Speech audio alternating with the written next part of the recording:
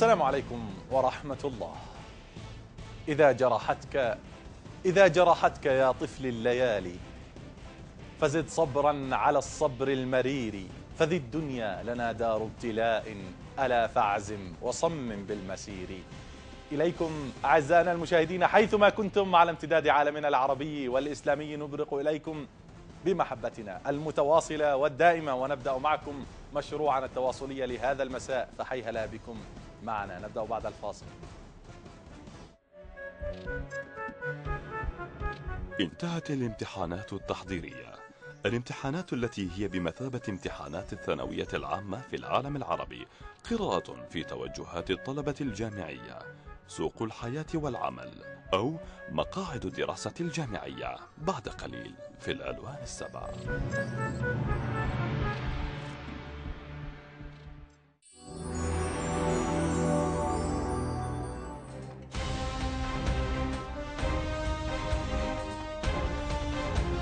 تهدمت الإمبراطورية العثمانية وتشتتت الدول وانغلقت على حدود موضعية احتلالات وانقلابات وسياسات فردية لا تسير نحو هدف محدود. الشرق الأوسط في بدايات القرن العشرين بعد قليل في الألوان السبعة. تعتمد كثير من الدول في تعاملها وتعاطيها مع مجريات الأحداث برؤية ناضجة. رؤية قائمة على قراءة الأرقام والإحصائيات والدلالات وأيضا التفرس بمعطيات الواقع من أجل النهوض بهذا الواقع وصياغة مستقبل في ظل أرقام ومعطيات وقراءة تحليلية تفصيلية. هنا في تركيا يعقد في المرحلة ما بعد الثانوية العامة أو مرحلة التوجيه كما يسمى في كثير من الدول العربية امتحان خاص للقبول في الجامعات.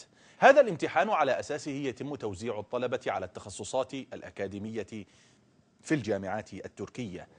رؤيتنا لهذا الامتحان طبيعته من يشرف عليه وأيضا الأهداف منه ودوره في صياغة مستقبل تركيا يسعدنا أن نستضيف للحوار فيه أحد المختصين في هذا الشأن عضو للهيئة التدريسية في جامعة إسطنبول التقنية وأيضا أحد المتفرسين في هذا الجانب والمطلعين على قضايا التعليم. الأستاذ البروفيسور دكتور زكاء شين أهلا وسهلا بك معنا. أستاذنا في برنامج الألوان السبعة. أهلا. مشاهدينا الأكرام دعونا نعرفكم أولا بطبيعة هذا الامتحان ودلالاته بصورة مبدئية ثم نعود بعد ذلك لحوارنا مع ضيفنا الكريم. نتابع سويا.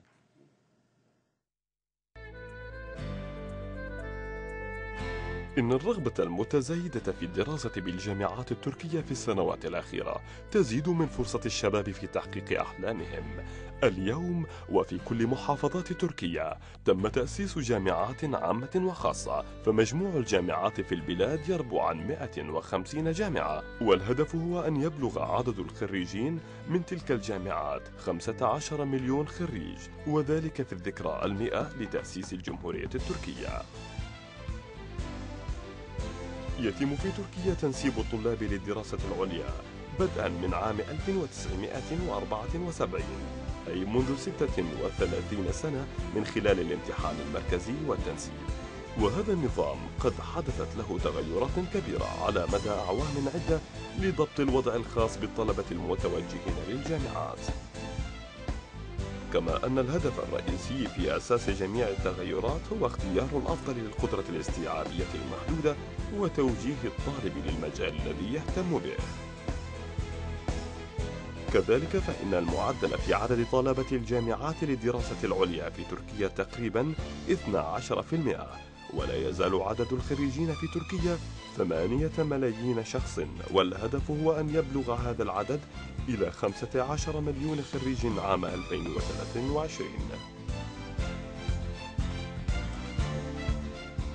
بالطبع فمن المخطط كذلك أن يبلغ عدد أعضاء هيئة التدريس من 35 ألفا إلى 90 ألف عضو وذلك من أجل تحقيق مثل هذا الهدف الاستراتيجي. وكذلك فإن البلدان المتقدمة والبلدان النامية قد قامت بتقييم نظمها بخصوص الدراسة العليا وفي المجالات الأخرى كذلك من خلال استخدام مزاياها التي وفرتها لها التطورات المهمة في تكنولوجيا الاتصالات وذلك من أجل اللحاق بالسباق الاقتصادي العالمي القائم على المعرفة الذي تسارع في آخر ربع من القرن العشرين كما قامت البلدان بإعادة الهيكلة في ضوء التطورات السابقة والراهنة. نعم البروفيسور دكتور زكاء شين نجدد ترحيبنا بحضرتك. أستاذنا الكريم ما هي أهمية أن يعقد الامتحان التقييمي للراغبين في الدخول إلى الحقل الجامعي برأيك؟ لا يريد أن يدخل الجامعات لابد أن تمر على امتحان القبول. امتحان القبول هي مهمة جدا لأن عندنا عند عدد الجامعات لا تكفي للسكان كاملها. عشان كذا لابد أي آه، شخص الذي يريد أن يدخل الجامعة أن يأخذ الامتحان هذه. لأن آه، الأماكن المحدودة وبالإضافة إلى ذلك بعض التخصصات يعني طبعا في هناك التغيير من الوقت إلى حين ولكن آه، يعني الطلب عالي جدا. الطلب عالي جدا نسبة المقبلين على الجامعات والتعليم الجامعي عالية نعم. جدا. والتخصصات و160 يعني جامعة لا تكفي؟ حوالي 106 لا ما أعتقد الجامعات عدد الجامعات هذه تكفي في تركيا ستزداد كمان عدد الجامعات. ولكن السؤال هناك هل سنجد الأساتذة الكافية لتدريس الشباب كل هذه في الجامعات أم لا؟ طبعا هذا سيأخذ الوقت ببطء شوية وشوية. أنا أتمنى أن في بعد خمسة أو عشر سنين ستوصل إلى يعني المرحلة أحسن من الآن. نعم وهذا, وهذا ما نتمناه نعم. وهذا ما نتمناه حضرة البروفيسور ولكن قراءتنا لهذا الامتحان. هذا الامتحان يدخل إليه الطل... إليه الطلبة مجبورين بعد إنهائهم للمرحلة الدراسة الثانوية حتى يلتحقوا بالجامعات. صح. هل هناك ربط ما بين هذا الامتحان وما بين عدد الخريجين؟ والله السؤال جيد هذا ما أعتقد هناك الربط جيد ما بين عدد الجامعات والأقسام التخصصية والطلاب. لابد أن تكون هناك التخطيط أحسن من الآن. ولكن لما ننظر في وضع ال- العام في هناك عدة تخصص- تخصصات. أي تخصص موجود في العالم؟ موجودة في جامعة التركية. ولكن غير كافية. نعم رؤيتكم أنها يعني لابد من تطويرها كما ونوعا. صح. نعم حضرة البروفيسور هذا يقودنا إلى سؤال بسيط. تفضل. الامتحان الذي تتفضلون به ورؤيتكم يعني إليه كان يعقد على مدار سنوات. هل جرت قراءة هذا الامتحان نتائج هذا الامتحان؟ مثلا يعني لدينا اثنان مليون مثلا طالب يرغبون في دراسة جانب أدبي مثلا. لابد من افتتاح جامعة أدبية.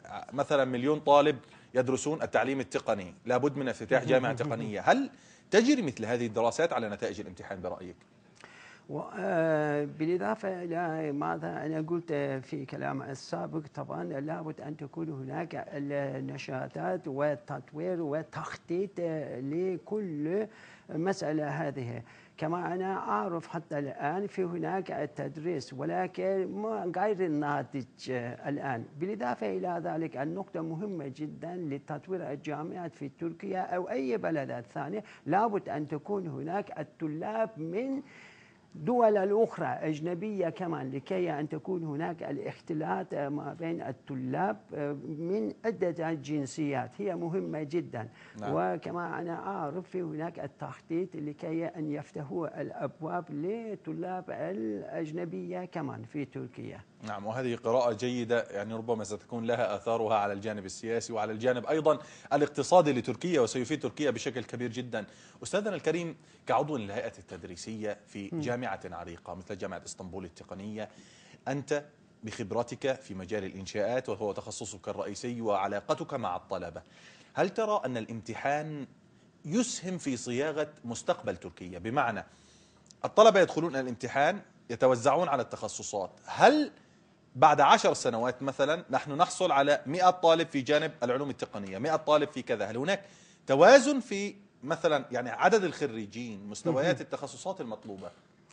ولا بالنسبة لبعض التخصصات خاصة التوازن موجودة وتخطيط جيدة جدا. ولكن بالنسبة مثلا لما نتكلم عن المواد الاجتماعية أو أدبية أو تاريخية ما أعتقد حتى الشباب ما يرغبوا أن يدخلوا الأقسام هذه.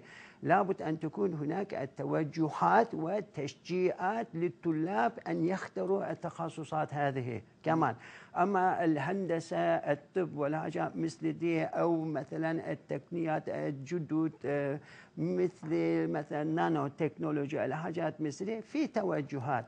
ولكن لابد أن تكون هناك التوجيه إلى المواد الاجتماعية والأدبية كما قلت. وهذا دور الدولة أليس كذلك؟ يعني أن تقول أنا بعد عشر سنوات أحتاج إلى مثلا خريجين في جانب علم النفس. نعم. أنا أحتاج إلى يعني 100 طالب في جانب النانو تكنولوجي أنا أحتاج إلى 100 طبيب. أنا أحتاج إلى 100 مهندس. هل الدولة تتدخل في هذا الجانب؟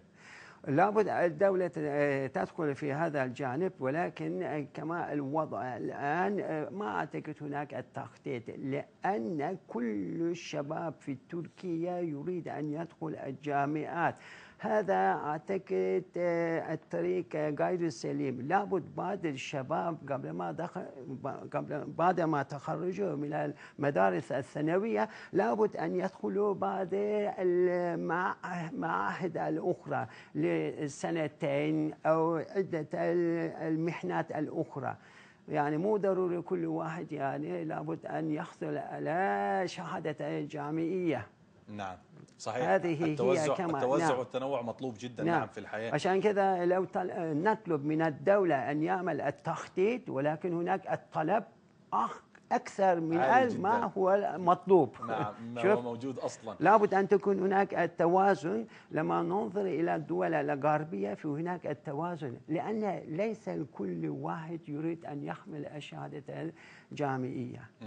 هناك رؤية واضحة ولكن يعني حجم الطلب أكثر مما هو معروف نعم. كذلك نعم. نعم حضرة البروفيسور هنا يعني لي سؤال أنتم شاركتم في مؤتمر لليوك هيئة التعليم صح. العالي نعم. في تركيا قبل عدة أيام عقد هنا في إسطنبول وحضره رئيس الجمهورية السيد عبد الله جل هل هذا المؤتمر كان بخصوص تقييم الواقع العلمي دراسة الواقع التعليمي قراءة في الواقع الجامعي عن ماذا تحدثتم؟ ماذا خططتم في هذه المؤتمرات؟ هل هناك نعم. دراسة لعدد الخريجين؟ ماذا تنون في هذا الاتجاه؟ كما أنت سألتني السؤال هل هناك أي تخطيط من قبل الدولة؟ وكان هناك البعض يعني مشاريع ولكن لكي أن نتحسن عن المشاريع السابقة كل هذه كان هناك لقاء من قبل عدة الأساتذة لهم الخبرة. في التعليم الدراسة العليا هناك كان نوعية التخصصات مثلا ناقشنا بالإضافة إلى ذلك كيف نقدر أن نربي الطلاب إلى عدة مثلا تخصصات, نعم تخصصات بالإضافة إلى ذلك النوعية ليس فقط الطلاب بالإضافة إلى ذلك الأساتذة لابد هم يجددوا معلوماتهم. نعم. يعني حاجات مثل دي وستكون هناك في المستقبل الفرق ما بين الأستاذ يعني يجدد آه، معلوماته والثاني قد يكون ما يجدد. كان هناك حتى التصنيف بعض الأساتذة سيتركزوا في البحوث العلمية والتقنية وبعضهم درجاتهم. نعم وبعدهم بس التدريس يعني مو معقول في كل الأستاذ كل المواصفات هذه يتجمع وسيكون عنده نعم هذه نعم. نظرة ممتازة جدا يعني ستسهم حقيقة في تعزيز واقع الهيئات التدريسية صح. وستسهم في زيادة البحوث العلمية التي هي ركيزة لتركيا نعم. كما أقرأها أستاذنا الكريم هذا الامتحان يوزع الطلبة على الجامعات يدخل الطلبة إلى الجامعات.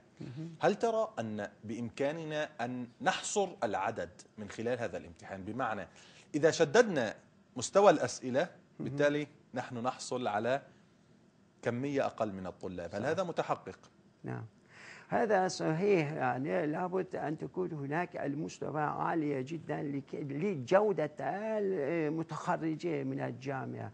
ولكن على الاسف الشديد كما أنا أرى حاليا في هناك محاولات بشدة ولكن كما كلمنا قبل شوية الطلب أكثر من الأرض. نعم وهذا وهذا أمر إيجابي أيضا. يعني الطلبه يعني الإقبال على التعليم أمر إيجابي جدا ولكن حاجات الدولة يعني أمر مفهوم أيضا. يعني لابد من تأمين مستلزمات ومرافق يعني في تركيا نحن نتوقع كل شيء من قبل الدولة ولكن لابد الشاب وكل واحد يعني ينظر إلى وضعه. قد يكون بعض الشباب ما يستحق أن يدخل الجامعة. لابد هو يقيم نفسه نعم ربما بصراحة. نعم. وفي مدى طويلة أو متوسطة ستكون هناك التوازن. ممتاز. وهذه نظرة يعني نحمل منها ونلمس منها الأمل يعني وربما نحمله إلى الأجيال القادمة. قضية التوازن الفردي والتقييم الشخصي نعم. التقييم الشخصي أقصد لنفسه هذه رؤية مميزة هي نعم مهمة أستاذنا الكريم أنتم تطمحون في عام 2023 إلى الحصول على 15 مليون خريج جامعي 15 من أصل 74 مليون شخص تركي بمعنى المجتمع التركي متعلم بالكامل هل صح. هذا صحيح؟ والله آه، ما أعتقد يعني متعلم مئة في المئة ولكن لما نظرنا إلى عدة المستويات المدارس الابتدائية والثانوية والجامعات والمعاهد الاتجاه الآن نعم إلى كاملة ولكن سيأخذ الوقت كمان. ما نعم. أعتقد يعني. 15 مليون. يعني هذا ليس رقم بسيط يعني عدد لا لا هذا ليس رقم أكبر بسيط. أكبر من بعض الدول يعني حقيقة لوحدهم. هذا نعم جيش نعم من نعم المتعلمين نعم. يمكن له أن يعزز مكانة الدولة. نعم نعم نعم. نعم أستاذنا الكريم 15 مليون خريج. ورفع أيضا في الخطة الاستراتيجية لعام 2023 عدد الهيئة التدريسية من 34 ألف إلى 90 ألف عضو هيئة تدريس في تركيا. نعم. هل تركيا قادرة على تأهيل مثل هذا العدد من الهيئة التدريسية؟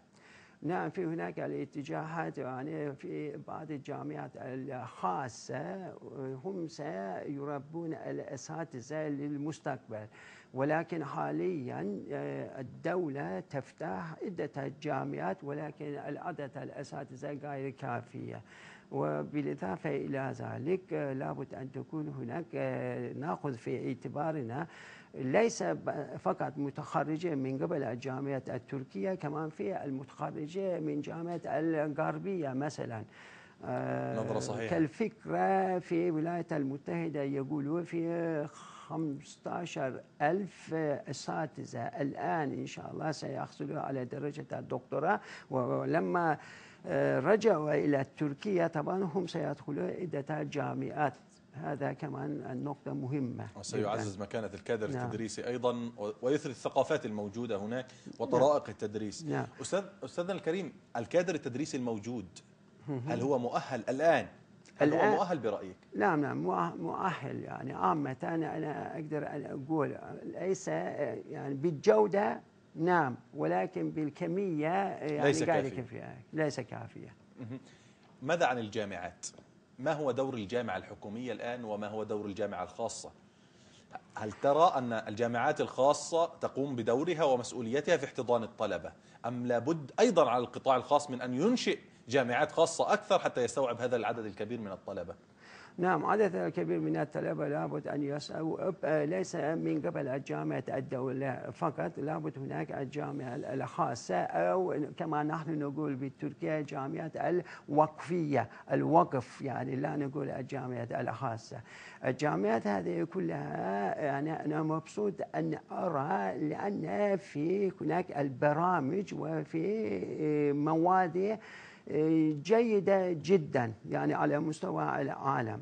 ولكن آه، الجودة الجامعات هذه ما في هناك أي آه، مثلا معهد أو أي آه، مركز لتقييم جودة الجامعات هذه. أحيانا عشوائيا هم يعملوا التدريس. قليل. ولكن آه، مع زيادة الجامعات عدد الجامعات الخاصة هذه ستكون هناك طبعا المنافسة. والمنافسة هذه مهمة جدا. أما في تركيا بين الجامعات الدولية لا توجد أي منافسة هناك. كل أستاذ يستلم نفس الراتب سواء كان هو ينتج الحاجات العلمية أو غير علمية. لابد التغيير هذا مطلوب في المستقبل. لكي أن تكون هناك الاستنتاجات العلمية والتقنية أحسن. المنافسة بالتأكيد. كما أنتم تعرفون. لأنك سألتني يعني قطاع الخاصة هم عندهم المنافسة هذه في جامعة الخاصة. نعم أستاذنا الكريم أنت عضو مخضرا في الهيئة التدريسية. وهنا أود أن أسألك سؤالا مباشرا. أنتم تضعون مراحل التعليم أساسي ثانوي بعد ذلك امتحان التقييم بعد ذلك الجامعة. خريجي الجامعة خريجي الجامعة بعد هذا التسلسل الكبير. صحيح. هل هم أيضا بمستوى مميز؟ بمعنى بعد صح. أن ينهوا مراحل التعليم يعني أضرب مثلا في إحدى الجامعات سأبعد عن جامعاتكم. في جامعة جراح باشا مثلا في كلية الطب الباطني نحن نتحدث عن أكثر من 140 بروفيسور مختص. عدد الكادر التدريسي كبير. كبير. والكادر التدريسي مميز مختص مثل من أمثال حضراتكم. نحن نتحدث عن كفاءات كبيرة جدا. هل هذه الكفاءات تفرز طلبة؟ على مستوى قدير جدا. قادر على قيادة تركيا في المرحلة المقبلة. قادر على الإبداع لخدمة المستقبل الخاص لا أقول لتركيا فقط وإنما لخدمة الأمة كمان. لا بالنسبة لخدمة الأمة لابد هناك يعني آه، الاتفاق ما بين الجامعات آه، من قبل عدة الدول الإسلامية. على أساس شديد هذا غير وارد الآن. رغم من في بعض المحاولات ما بين تركيا وسوريا والسعودية والأردن والمصر أنا أعرف النقاط هذه لما نتكلم عن جودة الأساتذة هذه لما نتحدد آه، يعني نوحد كل الجهود, الجهود هذه أنا أكيد ستطلع بعض الأفكار جيدة جدا في المستقبل وسينقلب على البعض الحقائق العلمية. يعني الحقائق ما أنا أقدر أن أقول حقائق يعني بعض النظريات العلمية. لابد هناك التطور كل مرة. بالنسبة للتقديم من قبل الأساتذة المعلومات إلى الطلاب هذه هي واردة. ولكن على أسف شديد ليس فقط في تركيا أعتقد في كل دول الإسلامية خاصة هناك لا توجد المجال الأسئلة الحرة. لابد الطالب يعني خاصة على مستوى الماجستير والدكتوراه لابد أن ينتقد خطة المعلومات الأستاذ من كل الجوانب لكي يحصل على المعلومات وبعدين يعني ينتج من المعلومات هذه الأفكار الجيدة.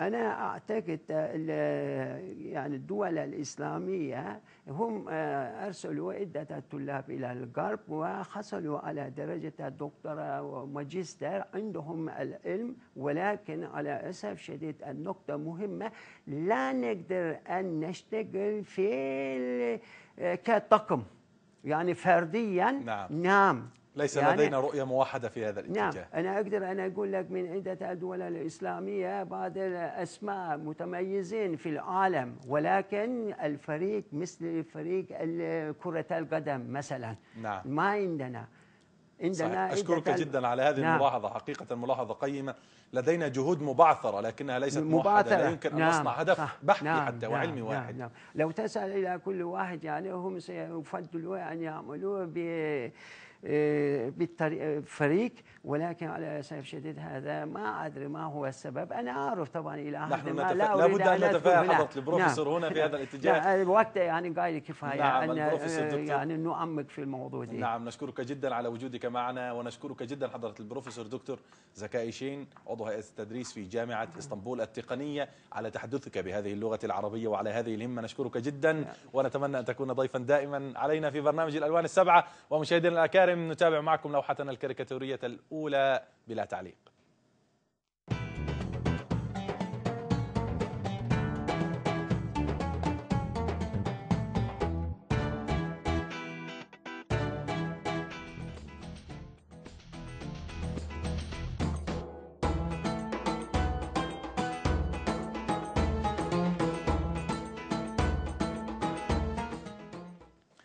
بلدية باجلر التي استضفنا قبل فترة قصيرة رئيسها ومديرها العام. هذه البلدية أقامت مركزا تخصصيا لرعاية وتأهيل المرأة. اليوم كان لها وقفة مميزة. أحببنا أن نستعرضها في تكريم وتقدير المرأة التي أنتجت التي تعلمت والتي تأهلت والتي أصبحت عضوا فاعلا في مجتمعها. نتابع الاحتفالية وأيضا حضور شخصيات لتقدير المرأة المبدعة. نتابعها سويا في نشاط بلدية باجلة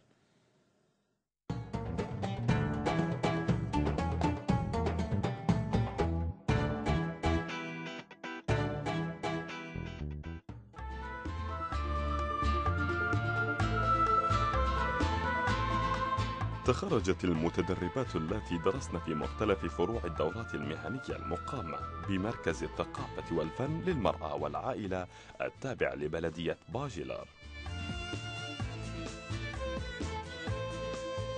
افتتح المركز بهدف تقييم مهارات النساء والتعليم الفني والتعليم في مجال العائلة وتربية الأطفال والتعليم لأجل إكساب النساء مهنة يعتشن منها. تم تقديم الشهادات ل 188 امرأة اشتركت في دورات صنع حلوى الزفاف وتصميم المجوهرات وتصميم الزهور وتشغيل وبرمجة الحاسوب ورعاية الأطفال والمسنين والطبخ وتزيين الزجاج في حفل تم بالشراكة بين مركز باجلار لتعليم الشعب ومؤسسة الحصول على العمل والعمال. عدد من الأشخاص الذين أكملوا الدورة التي دامت şehrin ونصف الشهر استحقوا أن يحصلوا على الشهادة وقد بدأوا يشتغلون كذلك في مجالات حرفهم الجديدة.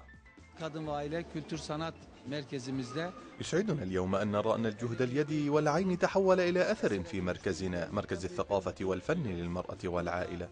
هنا تجد النساء فرصة الرياضة والتعليم المهني في 24 فرعا تخصصيا.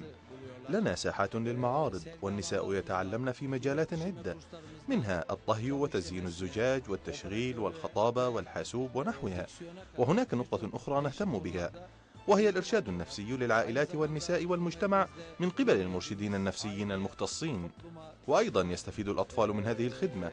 نرغب من خلال إسعاد الأفراد تحصيل سعادة تركيا وبسعادة Türkiye سعادة العالم كله. Yapıyoruz bu merkezde. Aynı zamanda çocuklar da danışmanlık alıyorlar. Ben de bu binada çağrı merkezi. أنا طالبة في هذا المبنى بدورة مركز الاتصال. اليوم حصلت على شهادتي وسعيدة جدا. معرض التخرج كذلك غاية في الروعة هناك جهد يدوي وفني مميز وجهود كبرى لدى صديقاتنا المتدربات الأخريات وأعتقد أنهن حصلن على مقابل تعبهن ve emeklerinin de karşılığını aldığını düşünüyorum. Sergimiz çok güzel. Kadınlarımızın معرضنا جميل للغاية هناك آثار جميلة جدا تظهر تعب يد نسائنا يجب أن تكون نساؤنا منتجات ويجب أن نخرجهن من البيت ونشجعهن على الإنتاج بمثل هذه الفعاليات تتجه نساؤنا إلى الإنتاج تماما ويمكنهن بجهد أيديهن وأعينهن أن يسهمن في ميزانية الأسرة أعتقد أن هذا يستحق الدعم bu mutlaka desteklenmeli diye düşünüyorum. وإلى باحة جديدة باحة بنكهة عالمية. في ذكرى الإسراء والمعراج.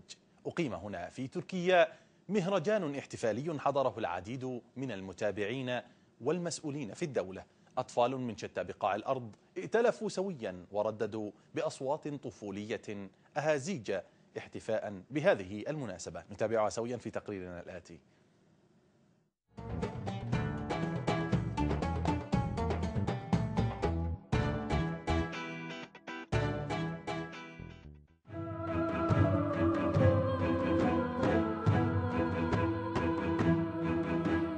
ليلة الإسراء والمعراج ليلة خاصة مباركة يحييها المسلمون في جميع أنحاء العالم. وهنا في إسطنبول كانت لها نكهة خاصة إذ تم إحياؤها ليس فقط من قبل الأتراك وبلسانهم بل باشتراك أطفال جاءوا من دول مختلفة لينشد كل منهم بلغته في حب الرسول وفي فضل هذه الليلة.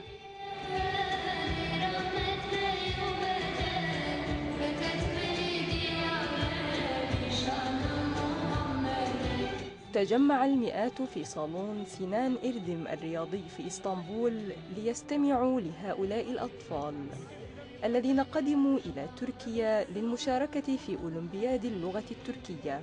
ورأى منظم المسابقة أن يضفوا نكهة عالمية إسلامية على هذه الليلة المباركة عبر مشاركة هؤلاء الأطفال في إحيائها. ليمثلوا شاهدا حيا على عظمة هذا الدين وعالميته.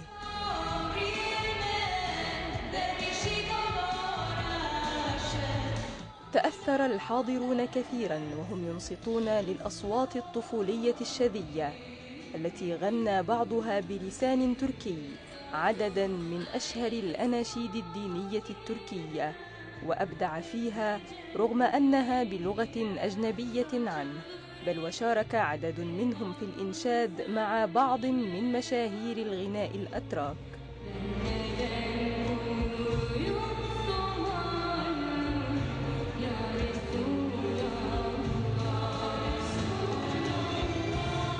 ولم يضعف تفاعل الجمهور مع الأناشيد التي غناها الأطفال بلغات بلدانهم بالعربية والألبانية والبوسنية فحتى إن اختلفت الألسنة فإن القلوب المشبعة بالعشق الإلهي يربط بينها رابط خاص يجعل تفاهمها لا يعتمد على اللغة ولا الكلمات وإنما هي المشاعر والأحاسيس تخرج من القلب لتصل إلى القلب مباشرة دون حاجة إلى وسيط.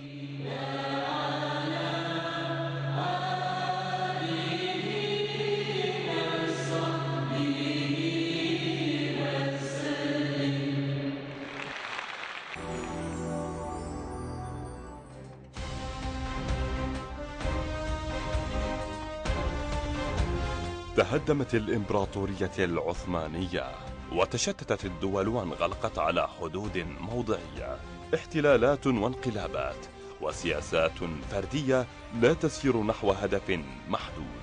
الشرق الأوسط في بدايات القرن العشرين بعد قليل في الألوان السبعة وإلى رحاب اليمن الآن. شباب الثورة اليمنية الذين وفدوا إلى تركيا في إطار تفاعلهم مع التيارات السياسية الموجودة في تركيا إبان الحملة الانتخابية. كان لنا مع أحدهم لقاء خاص أطلعنا على رؤيته للعمل العام وأيضا على رؤيته للقائه الخاص مع رئيس الوزراء التركي السيد رجب طيب أردوغان. والآمال المرجوة نتابعها سويا في تقرير زميلنا الدكتور سعيد الحاج.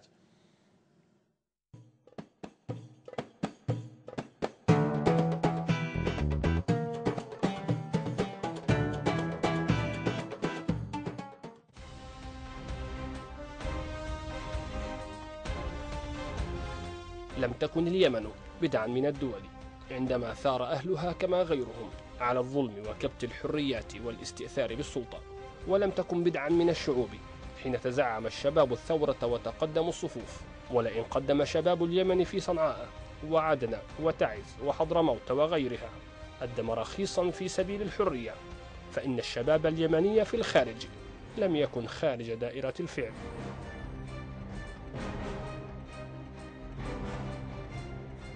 خالد صالح النهدي وهو يمني مقيم في بريطانيا يشير إلى ما يستطيع الشباب في الخارج القيام به. بداية وهلة الثورة كان يقول يتمنى انه يكون في في صنعاء أو يكون في عدن أو يكون في حضرموت ليساند الثورة. ولا وجدنا أن هناك دعما أهم بك يعني مهم جدا موجود أنك ممكن تقدمه أنت حتى في بلدك ممكن تقدم وتوعي المجتمع اللي حواليك وممكن كمان وصلت المرحله انه ممكن نضغط على الق- القرار العالمي بإظهار آه، الثورة اليمنية هناك لمساندة الثورة. هكذا ظهرت فكرة إنشاء مجلس ائتلاف الثورة اليمنية في الخارج من كافة فئات الشعب ومن مختلف الأعمار والتوجهات لدعم الثورة إعلاميا وبرلمانيا وقانونيا. طبعا أنا ذكرت المجال الإعلامي بالأول. المجال القانوني هو نحن الآن في الطريق إلى أخذ ملف اليمن إلى المحكمة الدولية الجنائية الم- الدولية واتفقنا مع مجموعة محاميين قاموا بهذا الشيء العمل من قبل. وعلى الصعيد الإعلامي يتواصل المجلس مع قادة الثورة من الشباب ويغذون وسائل الإعلام بالأخبار.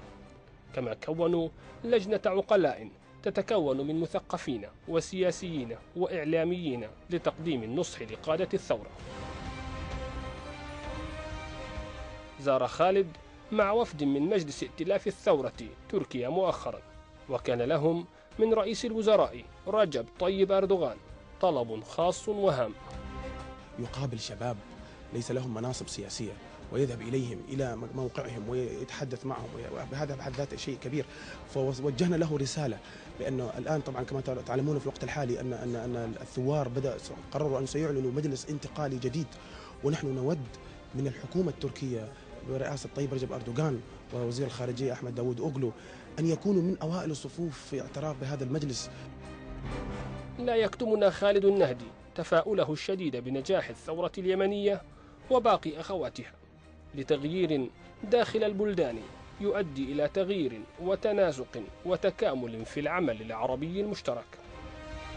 آه، طبعا أنا أنا متأمل جدا آه، برؤية آه، العلاقات الجديدة القادمة للجامعة العربية عندما تكون الدول والثورات كلها تنجح متأكدين أن سنرى روح جديدة مختلفة تماما للأنظمة العربية بقيادة بقيادة الشباب. تفاؤل مبني على معطيات واقعية إيجابية وهمة عالية وعمل دؤوب. كفيلون كما يرى خالد بإيصال الشباب والشعب اليمني لما يريدونه. وهل النجاح إلا همة وتصميم وعمل؟ وهل النجاح إلا همة وتصميم وعمل؟ مشاهدينا الأكارم هدمت الإمبراطورية العثمانية في مطالع القرن العشرين تفتتت الدول اتفاقيات عقدت احتلالات وأيضا انقلابات وأيضا ثورات بتنا نشهدها تجتاح العالم ما هو الأثر لغياب هذه الإمبراطورية وأيضا أين أصبح واقع عالمنا العربي والإسلامي؟ قراءة بعيون التاريخ وأيضا مع مختص بأطالس التاريخ وثقافات التاريخ مع الكاتب والباحث والمؤرخ التركي السيد ولي شيرين. أهلا وسهلا بك معنا أستاذنا في برنامج الألوان السبعة. سنناقش الموضوع بعمق وموضوعية وتاريخية. أهلا وسهلا بك معنا.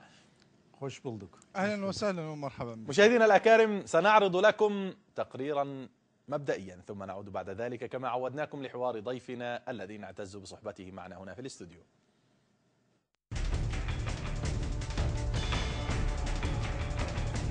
بتفكك الإمبراطورية العثمانية في بداية القرن العشرين دخل الشرق الأوسط فترة جديدة.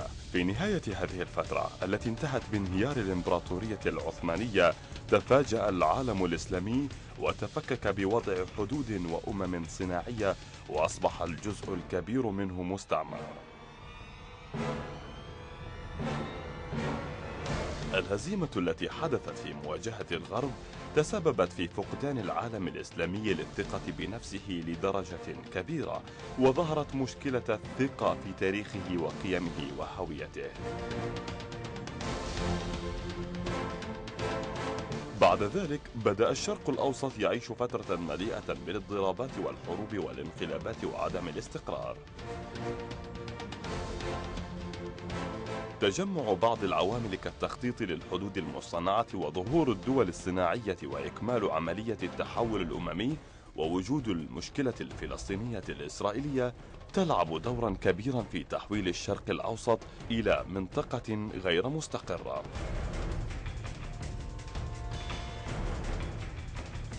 ولغياب الديمقراطية ولأنظمة القمع التي ترى أن شعبها خطر دور كبير ومهم في استمرار فترة عدم الاستقرار في الشرق الأوسط. ولهذه الهيكلية دور كبير كذلك في الثورات الشعبية القائلة كفاية التي بدأت في تونس والأحداث الجارية في مصر واليمن والبحرين وليبيا وفي سوريا الآن. المتظاهرون يطالبون بإنهاء أنظمة القمع وبالمزيد من الديمقراطية والانتخابات الحرة والنزيهة والمعارضة القانونية وحرية التعبير وحرية تكوين الجمعيات والعدل في توزيع الدخل والاصطلاحات. وهذه دلالات لا بد من فهم أسبابها وتداعياتها بصورة تاريخية علمية معاصرة. نعم الكاتب والباحث والمؤرخ التركي السيد ولي شيرين نجدد ترحيبنا بحضرتك. مجددا سأسألك بداية سؤالا عاما وأترك لك هامشا للإجابة عليه. تهدمت الإمبراطورية العثمانية وتوزعت الدول العربية دولا كل يغني على ليلاه كل له رؤيته الخاصة. ما هو الفارق ما بين وجود أمة وما بين غياب هذه الأمة لنصبح دولا مشتتة أولا وثانيا ما هي أهم الاتفاقيات التي ساهمت بغياب وضياع هذه الإمبراطورية؟ أستاذنا الكريم.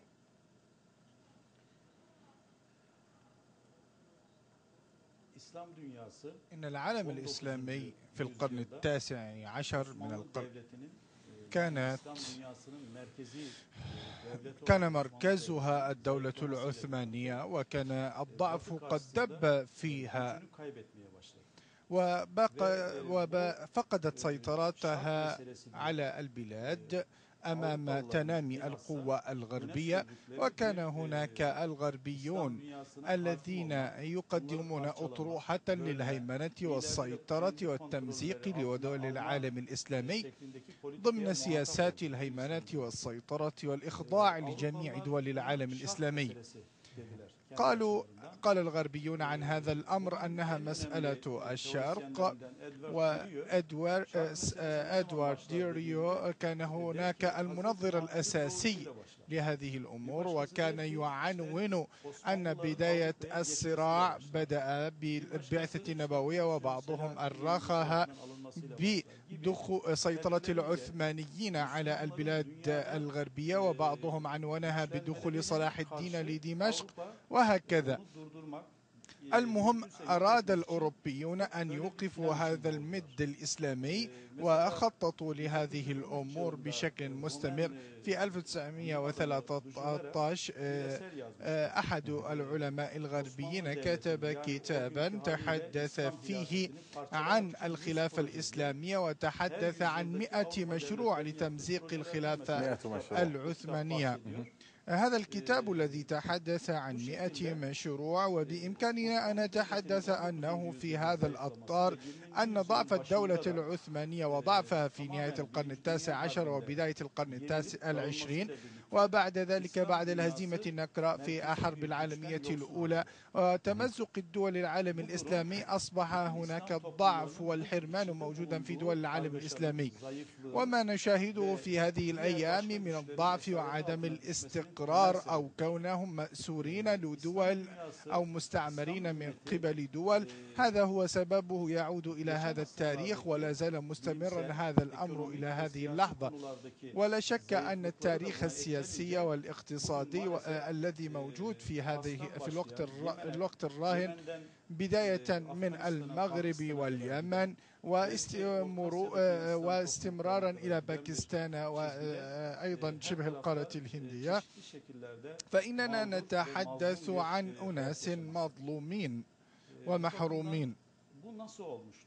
كيف حصل هذا الأمر؟ قبل أن نذهب إلى التاريخ أود أن أتحدث نعم وهذه, عن وهذا حقيقة يعني من أود التركيز عليه. قبل أن نذهب بعيدا في التاريخ ركز لنا حضرة المؤرخ حول قضايا المفصلية التي أدت إلى غياب هذه الإمبراطورية. تفضل.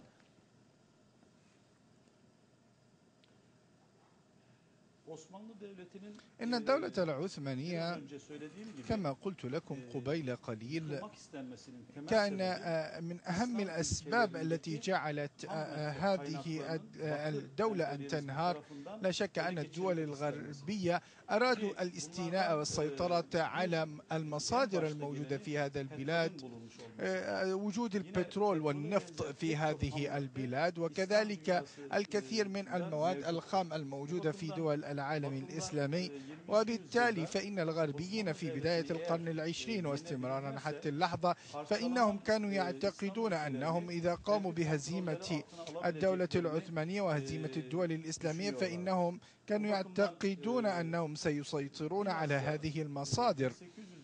وفي آه، 1870 بحسب الاتفاقية التي وقعت هناك لا شك أن الدولة العثمانية منيت بهزيمة أمام روسيا. هذه الاتفاقية التي جعلت العدو يدخلون إلى مدينة آه، إسطنبول. وإسطنبول استنجدت بألمانيا وبرلين وبحسب الاتفاقية الموقعة هناك إلا أن البريطانيين وضعوا أيديهم على قبرص وأيضا مصر. وفي عام في 1982 دخل الفرنسيين تونس وفي عام 1900 تو- والجزائر كانت أيضا قد تم السيطرة عليها في السابق.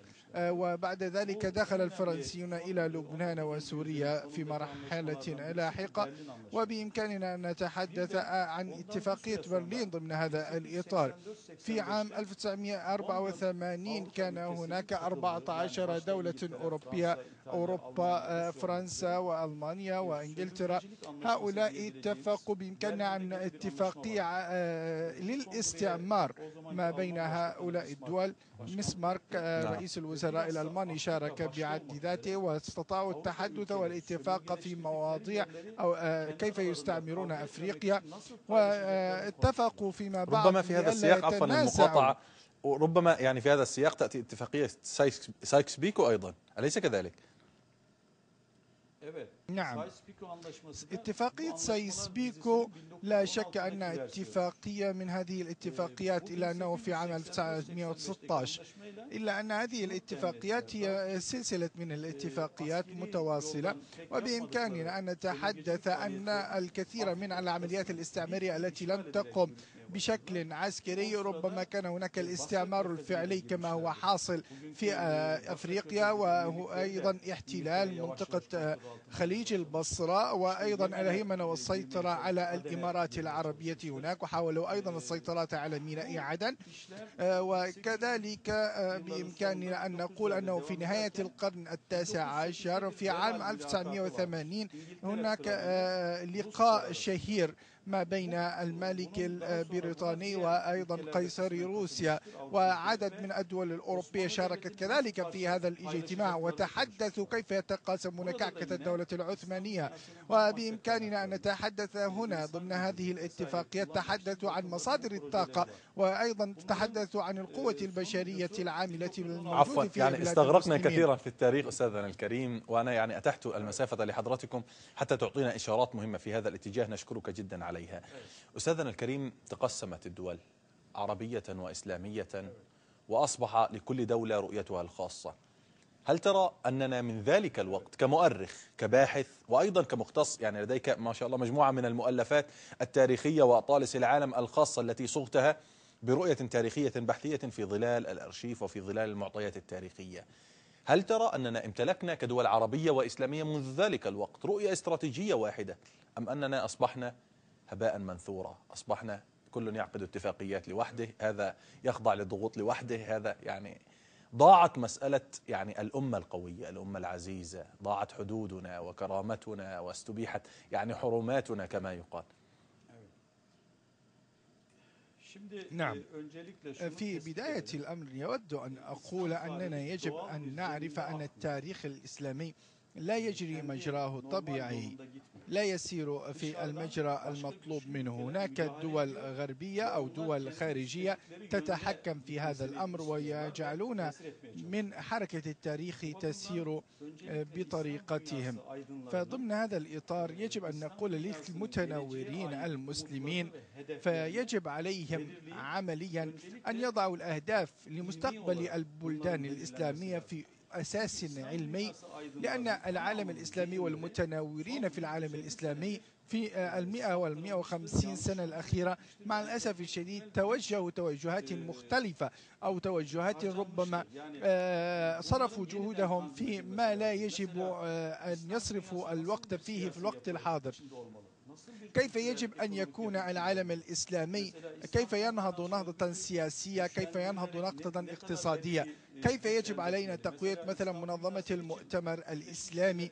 ولماذا آه، لا يوجد دولة إسلامية في الدول الخمسة التي تمتلك الفيتو في الأمم المتحدة؟ وهكذا. نحن آه، نشكل عمليا الأمة الإسلامية ثلث العالم فيجب أن تكون لنا صوت في العالم وصولة وجولات وهكذا. نحن نعم يجب أيضا الكريم هذه يجب وينبغي ربما هي. قراءات واضحة للمثقفين المسلمين وحتى المثقفين الذين يرغبون بنظرة إنسانية حقيقية.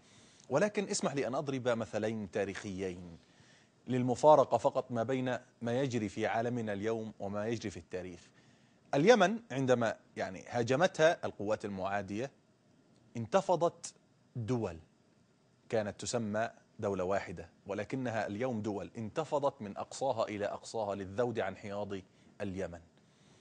في تشنقلة توحد الدم التركي بالعربي بالكردي للدفاع عن هذه الأمة. اليوم أكلت يوم أكل الثور الأبيض. يستفردون بنا دولة دولة يخططون لهذه الدولة حتى تضرب جارتها ويضعون فينا القومية والوطنية والمصطلحات حتى يصبح لكل إنسان كيانه الخاص الذي يضر جاره بما لا ينفعه كما يقال. أين أصبحنا اليوم في هذه المفارقة العجيبة؟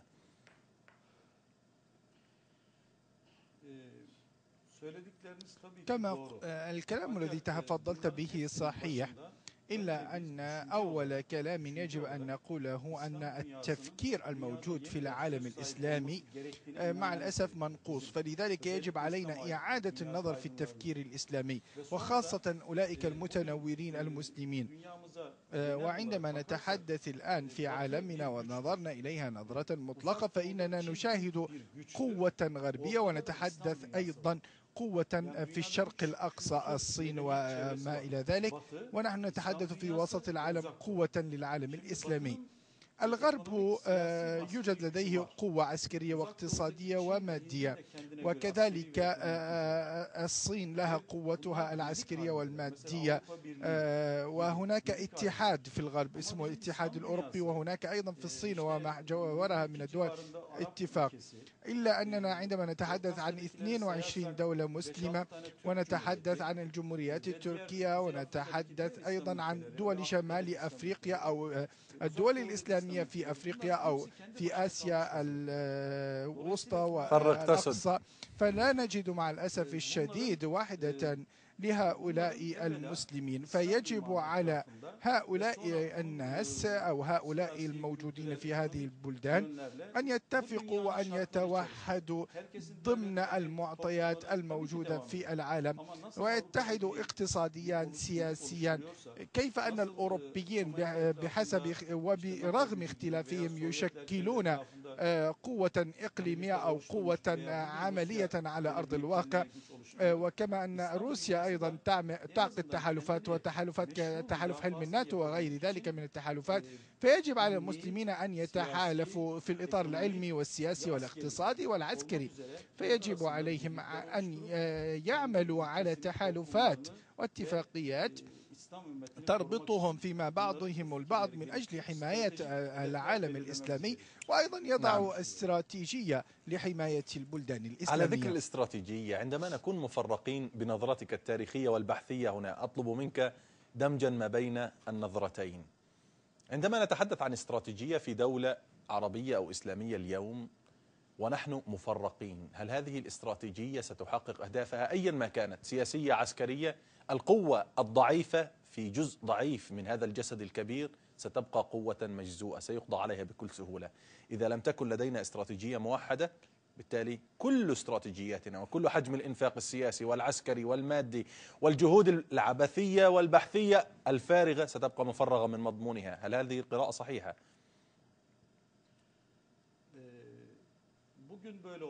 هذا الأمر ربما هكذا في هذا اليوم إلا أنه يوجد لدينا مواطن قوة. الله ربنا واحد ونبينا واحد وكتابنا واحد. كل هذه آه، الطاقة التي يمنحنا إياها هذا التاريخ وهذه الحضارة. مثلا هناك الإمبراطورية السلاجقة والأمويين والملوك والعباسيين والأندلس آه، وح- آه، وأيضا العثمانيين.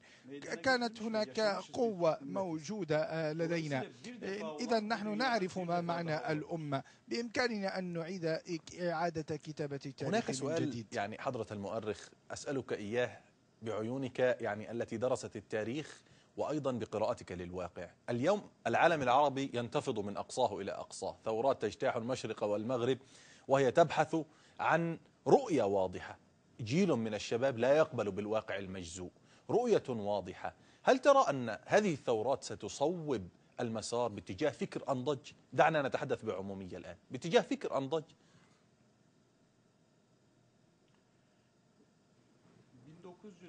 عام 1917 إن القوات العثمانية عندما خرجت من القدس آه، في. كان هناك دولة واحدة في العالم العربي.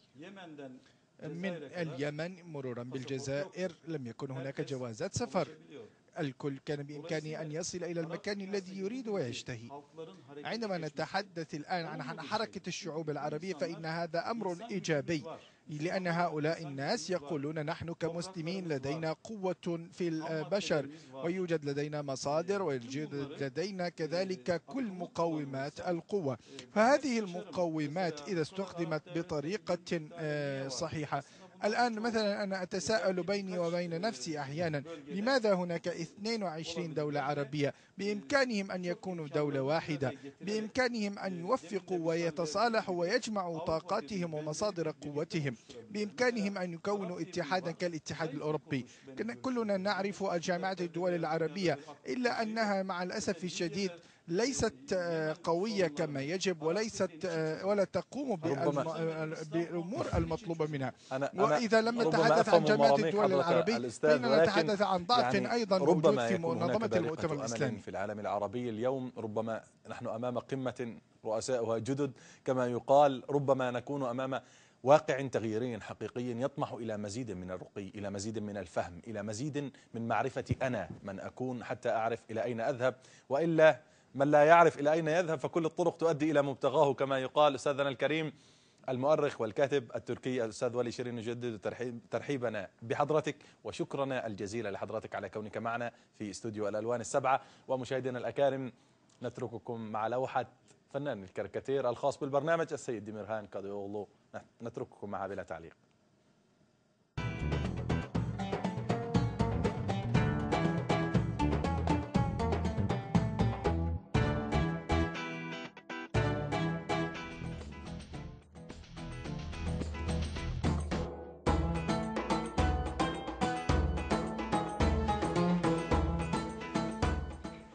بعزم الصادقين نقول حبا إلى اللقيا. فقد حان الغياب. اختتمنا أسبوعنا هذا بكل الهمة.